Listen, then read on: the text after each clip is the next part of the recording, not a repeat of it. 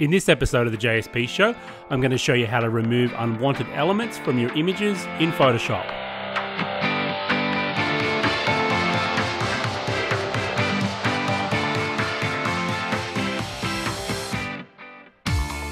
Hey guys, what's up? It's Johny here, and welcome to another episode of the JSP Show. And as always, I'm super pumped to be here. And this week we've got a lovely image from Ian in the lounge, and I'm going to show him how to remove a depua. anyway, you can see it's a lovely capture he's got here a dad touching a young boy's head, and it's, a, it's such a great moment. But um, yeah, what happened there? And I'm spinning around, rotating, doing my thing. So, oh, I had touch on on my Wacom. So there you go. That's why. Um, anyway, you can see it's a great moment, but unfortunately, he's holding a bag of Da-poo. So we're going to remove Da-poo. But first of all, um, let's just do a quick edit in Lightroom, and I'll show you. I went from uh, this is where it was to this here and I'll show you how I got there very soon. And but before I get started, I want you to check out this link. If you're ready to master your photography, we have the place for you. It's called the Share, Inspire, Create Lounge check out this annotation, check out this link, and uh, believe me, there's people in there just like you learning and mastering their photography every day. All right, let's get into this image. Ian, lovely image. I love the capture. So first thing I'm going to do, guys, and I'm just going to work down this basic panel and just do a basic edit on it. Um, I'm just going to go straight to daylight there. I think that's nice. It, uh, looks quite nice. You can see on the histogram there, it, the midtones and that are pushed um, to the left a little bit there. There is no clipping in the highlights of the shadows. So what I might do is uh, let me just quickly set the white and black point. I'm going to hold down option. I'm going to pull down to the right to set the white. And we don't want to see any white dots. Obviously, that's pure white. And blacks, we want to see a little bit of black there. Okay, so that's added a tiny bit of contrast in the image there. And I do like the slightly warmer white balance there as well. All right, so that's that done. I'm going to give it a little bit of contrast. And I'm actually to just, overall, I'm just to brighten the image up just a touch. And don't worry too much. Um, too much there. It looks a bit bright, but I'm to put a little vignette on it too. So let me just zoom in before we do that. Let's have a quick look at the detail. So there is a slight bit of noise there. So if I press the I key, let's see, uh, ISO 6400. So there you go. There is a slight bit of noise. So let's reduce that noise now in Lightroom. Um, somewhere around there is looking pretty good. So that's before after, yep, looking good. Like it, like it. All right, let's add some sharpening. So I've added about 30, so I'll go up to about 70 in the sharpening. I'm going to hold down the option key for the masking slider and everything that's turning black now isn't being affected by the sharpening. And that's looking pretty good. Let's zoom back out. Remember, this is just a quick edit. The actual thing, the actual thing we want to do is remove a depua. All right, jumping, jumping around here, just letting my Mac catch up. Yeah, there we go. So that's before, after, before, after. Okay, one thing I can see, I think it just needs a slight crop here. I'm just going to leave it at the, the actual ratio it was. And I'm going to lock it at 6B9, 4B6, and yeah, something like that's okay. Look, you know. Yep, that's fine. Looking good, looking good. All right, so now I'm just going to add a little vignette on it just to focus the eye into the subject there. Don't forget a little bit of feather, and that's pretty much done. Like we can play around. There's a bit more we could do to that probably, but I think that's pretty good. So before, after. All right, Command E. Let's get into Photoshop. So I'm going to send it from Lightroom to Photoshop with Command E, and Photoshop is opening up now in the background. Give it a sec, guys. Now this is quite a long process. Um, I've got some cloning and, and stuff I need to do, so I may fast forward little bits and pieces here and there. So if you find uh, I'm just jumping ahead, it's just because it's pretty mundane stuff watching me clone. All right, guys. So Command J, we're going to duplicate the layer. So I've got two there. You can see in my layers palette here, there's two now. So um, Lightroom is a destructive editor. There's only so many undos you can do. So I've got the original version there. All right, the first thing I'm going to do is grab the marquee tool and I'm gonna I want to be in pretty far here, guys. Like I want to be a fair way in. You know, um, I'm just gonna reset the black and white there. I'm gonna need that a bit later, but uh, I'm, I want to I want to just draw a lasso around here. Make a selection. Doesn't have to be too neat, guys. And then I'm gonna go up to edit, and I'm gonna go to fill, and I want to make sure that this drop down's on content aware. I'm just gonna hit OK. And look at that, Lightroom's done a pretty good job. Command D to deselect.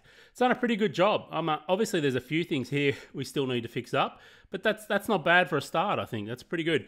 All right, I'm to hit the S key over to the clone tool. Now, I'm to leave the flow around 100%, but I'm to drop it down somewhere 60, 70, something like that, 75. It doesn't really matter. Somewhere around there is perfect. Now, I just want to tighten up this clone, and I don't have to worry too much because I'm to go back and clean this up later. But I do want to get rid of some of this area here, just to just to just to clone it out a little bit more. So I'm going to hit the Option key, select an area that it's going to clone from, and I'm just going to clone over this area here like this, just quickly. It's not, you know, this isn't rocket science, guys. It's pretty easy stuff. Once you get to know the tools, you can run through this pretty quick. I'm just going to go in a little bit tighter here.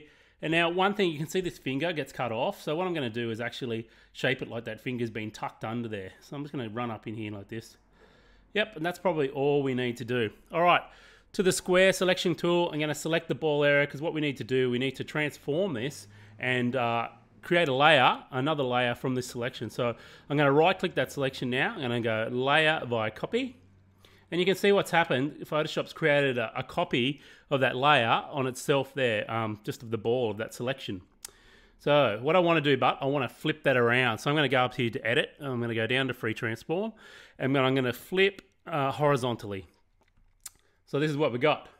See, it's flipped it horizontally. Too good. All right, the next thing I want to do, guys, is I'm going to drop this opacity of this fella here because I want to be able to see through it a little bit, okay? And then I'm going to add a layer mask by this button down the bottom. So I've got a mask now.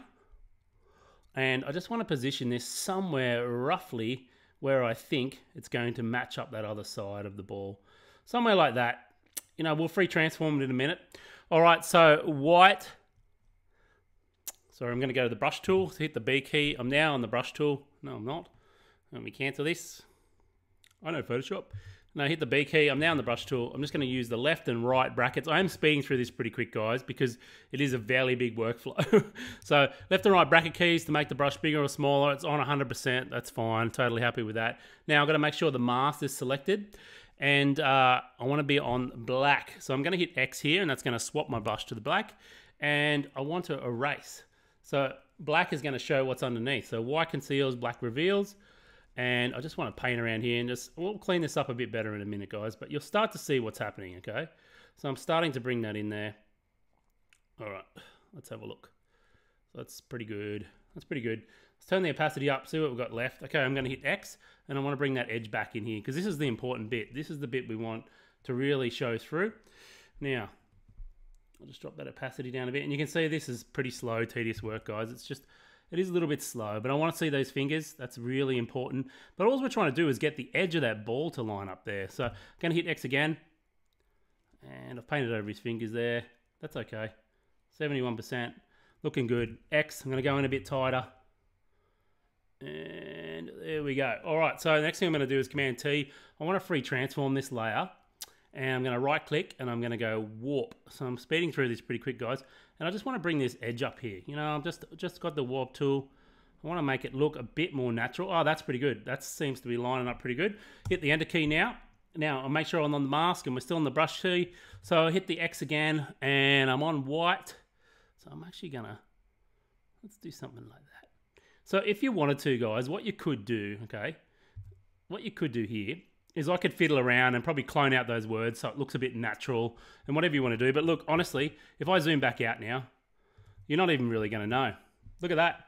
So that's it, guys. Like, uh, if you really wanted to make this look exactly the way it was, you would uh, have to move those words over and clone them back in or just clone those words out. But um, that's the basic thing, guys. It's basically put it in Photoshop, duplicate the layer. I'm going to make a selection. I'm going to fill it and do content aware. And then I'm going to... Uh, clone out that little bit there, his finger, just make it look a bit more natural there.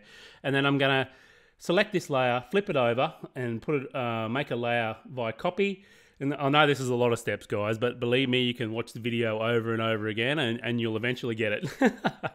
it is, it is, once you get to know these different tools, it becomes a hell of a lot easier. And then I'm gonna flip it over, free transform it, and just use the mask with the, with the brush tool and, and, uh, and use the black and white uh, colors to reveal and hide parts of the mask and you end up you'll see what happens so that's the mask there that's the only little bit we needed to show off that layer lumber layer 2 there so the last thing you can do guys is select the whole three layers. I'm going to right click. I'm going to go merge layers. Then I'm going to hit Command, Save, and that's going to throw me back over to Lightroom. And I'll just jump back over to Lightroom now. Yep, and I just minimize Lightroom. Let's bring Lightroom back. Hello, computers. There we go. Lightroom back, and there you go, guys. So we've gone from Dapoo to no Dapoo. so pretty easy, guys. Um, there's a few steps there. It does seem complicated, but believe me, the more you do it, the easier it gets. And you know, when you start to remove things out of your frame in Photoshop and play around with the different tools, it does become all clear. Just takes a bit of practice. All right, guys, that's it for this week. I hope you enjoyed that little tip. And Ian, thanks for letting me do this to your image. It's such a great little moment, and uh, it's uh, really, really awesome. And uh, guys, Ian's from the lounge, the Share, Inspire, Create Lounge, and this is the type of feedback that people get in the lounge. You know, we make videos for them, we give them comments. They're getting inspirational feedback from other great photographers in the lounge every other day. Make sure you check it out. Check out this link click on click on the uh, annotation there and uh, and get stuck in because believe me, it is going to be the best choice you've made all year to improve your photography. All right, guys, that's it for this week. I hope you enjoyed this. It was a little bit longer than normal, but uh, uh Ian, I'm sure you're going to appreciate it. All right, guys, this is Johny out. Peace.